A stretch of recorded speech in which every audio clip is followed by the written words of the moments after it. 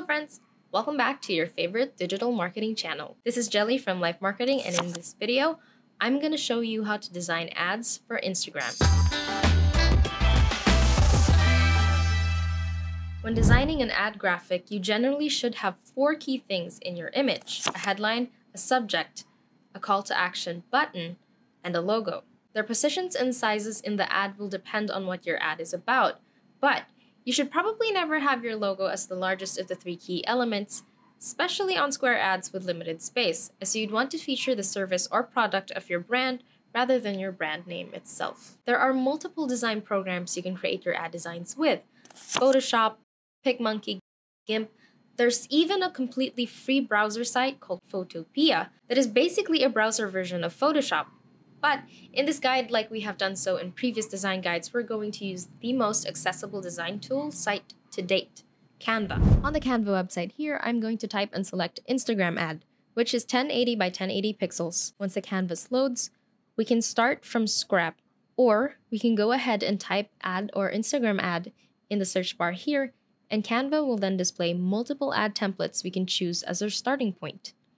If you're fairly new to graphic design, I strongly suggest picking one of these to start with and using that starting template as a placeholder and swap everything out. The goal being a unique graphic that doesn't have a high chance of having duplicates out there. In a previous design guide, we've created a mock brand called Coffee Cat and we'll be using that as our sample for today's ad design as well. Before we start making changes to the template design, make sure you have your own brand's product photos, logo variations, and other design material you may have all gathered in a single folder so that you can go ahead and upload these files to Canva. If you don't know what essential material to prepare, we have a quick guide on what you need to make quality design graphics, so if you haven't already, be sure to check that out. So the template you select should also depend on the type of ad you're doing. Like a sale graphic would feature mostly text like this, or a service type ad should feature people like this. Or in this case, let's say we're doing a product feature of this product which is now our subject image. So basing on the figure of our subject, let's find a template that will complement it. Also in the search bar of the templates, you can type in your product itself and you'll be shown a bunch of relevant templates. If you have a brand guide, be sure to have it open in a separate window or upload it as a canvas page for reference. Okay, so the template's background color doesn't really go with the branding for Coffee Cat, so I'd like to use something like this color, or a grunge texture like this instead. Now, since the product is coffee beans, I think I want to add actual coffee beans in the background, so I'm going to go ahead and type coffee beans in the search bar, and let's see what images Canva has for that. Feel free to explore and add different elements into the design as well. So long as it complements your product, don't be afraid to get creative and experiment with what works. It helps to look at what designs the most known brands in similar industries as yours are doing as a reference and also try to see what you can do to make yours stand out more and look better. So now we have most of the imagery set up, let's move forward with the text. Let's say our headline is Get 10% Off, and let's add the CTA button, which will say Order Now. I mentioned earlier that the logo is one of the four key elements. We already have our subject image, our headline, and CTA button.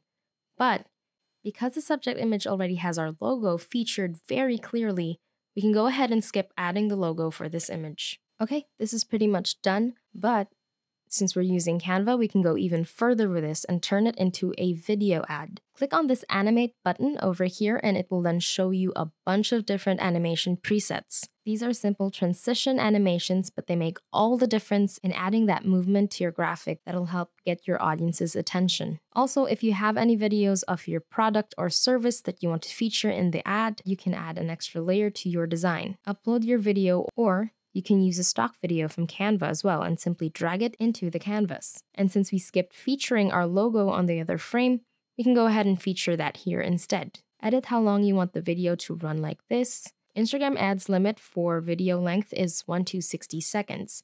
If you want to add music, Canva has a library of sounds you can choose from as well and add them into the design by simply dragging and dropping it in. Once done, you can go ahead and download your video ad as an MP4 file.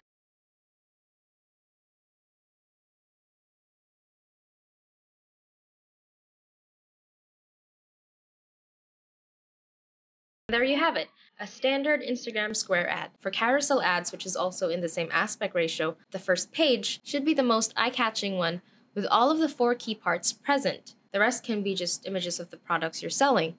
But you can also add a branded frame or a few decorative elements, nothing too overpowering as you want to feature the product the most with the slides after the first one. Other Instagram ad formats to note is Instagram Stories and IGTV, which are both 1080 by 1920 pixels. Once you've set up Canvas, you can just leave your original Square ad open in the other tab and copy paste the elements from that tab to your Stories ad canvas. Be sure to adjust the positioning of your elements so that you're using all the space in your Stories ad.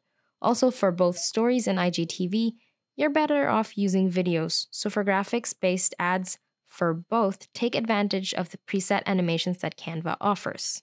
Same as your Square ad, once you're happy with your design, go ahead and save it as an MP4 file. And for both stories in IGTV, the maximum video length is 15 seconds. That's it for today's guide. If you learned anything from this video, please give us a like and subscribe to our channel for more essential digital marketing guides. Once again, this is Jelly from LYFE Marketing, and I'll see you in the next design tutorial.